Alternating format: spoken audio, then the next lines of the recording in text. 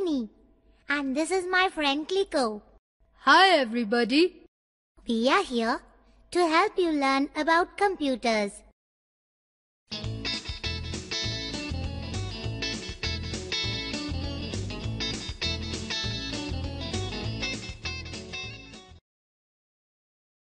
Hi Rini. You look thoughtful. What are you thinking about? Oh, hi Kliko. I was just wondering what our teacher said about computers yesterday. What has she said?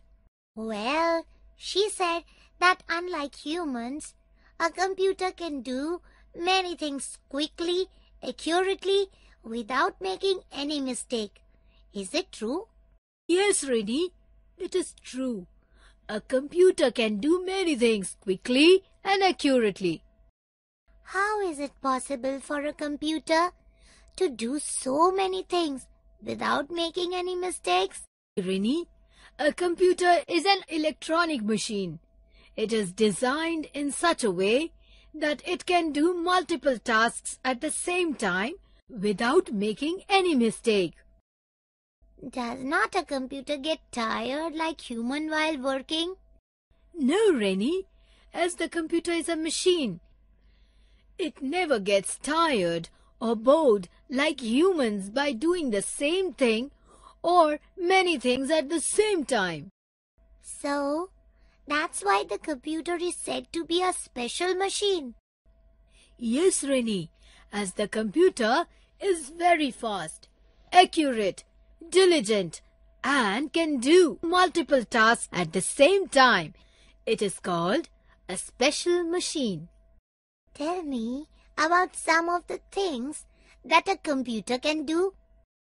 Using a computer, we can write a letter, chat with our friends, draw, play games, find informations, or get digital photos from our cameras beside other things. Wow! So many things. Does that mean a computer is superior to humans, Kliko?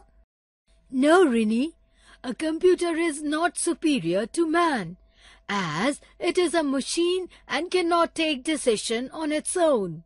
Tell me something more how a computer is different from a human being.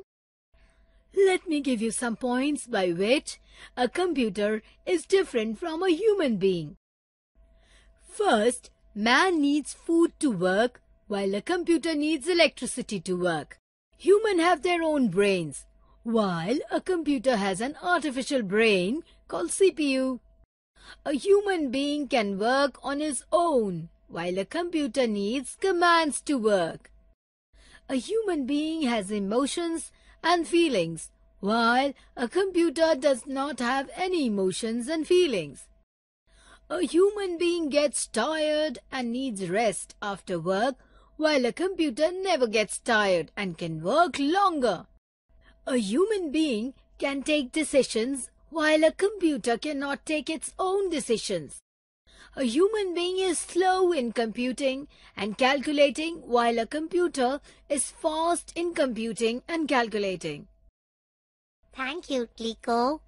Now I know about the difference between a human being and a computer. Kliko, I have seen that our computers in school are large and kept on tables, while I have seen Dad using a small computer which he just placed on his lap and he carries it with him to office. Yes, Rini. Computers are of different shapes and sizes. The computer at your school which are kept on desks are called desktop computers. These computers are not carried from one place to another. They are mostly used in offices, schools or at home.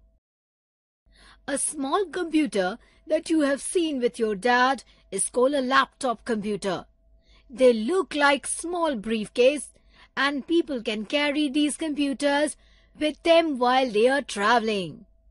Nowadays, the latest improved models of laptops are called notebooks.